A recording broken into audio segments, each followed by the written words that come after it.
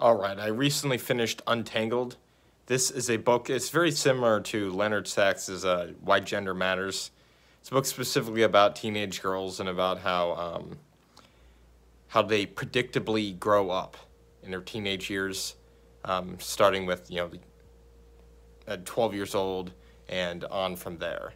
And I obviously um, don't have any teenage girls. I read it because I'm starting to write a book that has a teenage girl character, and uh, I was just using that for reference. Of course, the idea is not to um, write a stereotype.